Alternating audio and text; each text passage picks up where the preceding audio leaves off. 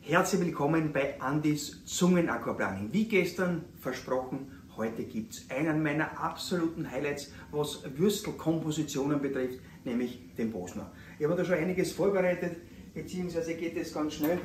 In die Pfanne, wo man da reinschaut, auch schöne, Brotwürstel. Ich habe gern dünne Brotwürstel, weil die sind schnell in der Zubereitung und schmecken mir besser wie ein dickes. Ich will mir gerne lieber zwei dünne wie ein dickes Brotwürstel in den Bosner und alles dazu der Bosner Sauce. Zwiebel, etwas Petersilie, natürlich Currypulver, ein scharfer Senf und was mir noch gerne reingebe, ist ein bisschen Honig. Der Honig kommt sehr gut mit dem Senf und mit dem Curry. Das Ganze einfach nur vermengen. Hoppala, da auspotzt. Wenn jetzt einer sagt, nein, das mit dem Honig, das ist mir ziert, das mag ich nicht, dann lassen Sie den Honig ganz einfach besser, das ist auch völlig wurscht. Aber ich sage Ihnen eins, probieren das, der süße Honiggeschmack mit dem scharfen Senf kommt sehr gut.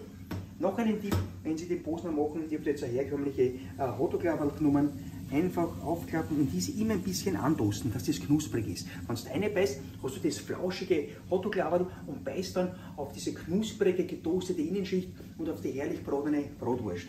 Einfach dann nur mehr da unser Zwiebel.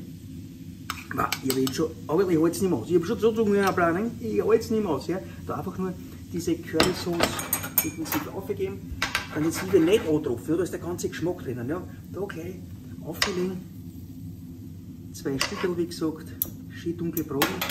Hoppala, ich habe mit den Fingern, ich habe mir sehr gewaschen, mehr Gefühl. Dann da einfach das aufgegeben.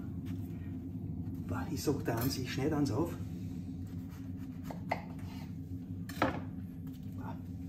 Schaut euch das an. Ich sage eins, ich habe jetzt schon Zungenakoplanung. Schön, dass dabei wart. Vierte. Mm.